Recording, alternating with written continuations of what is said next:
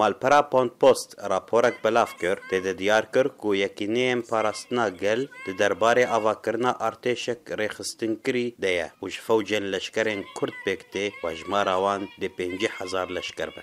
Li gor malpera Pontpost, Ji derekî leşkerî ji YPG'ê ragihand ku erkê vê artêşa nû parastin û berevaniyê di ber deverên Rêveberiya Xweser de ye û YPG'ê rahênan û amadekirina vê artêşê dest pê kiriye û nêzîk wê ev artêşa nû bê ragihandin. Rêdûr Xelîl, axêverê YPG'ê ji vê malperê re diyar kir ku armanc çêkirina fewcên leşkerî, avakirina hêzek leşkerî pispor û rahênkirî li ser şêweyên şerên nûjen e. û ev artêş wê li gor dîsîplîneke nûjen parastina deverên kurdî bike. Herwiha Xelîl amaje kir ku bêhtirî deh fewcan li Efrîn û Kobanê û parêzgeha Hesekê hatiye avakirin.